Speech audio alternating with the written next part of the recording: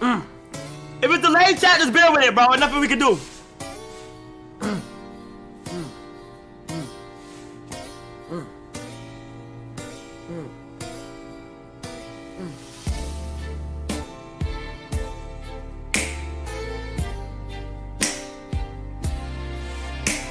I used to think that I wasn't fine enough.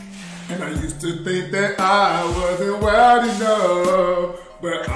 But I won't waste my time trying to figure out why you playing games. What's this all about?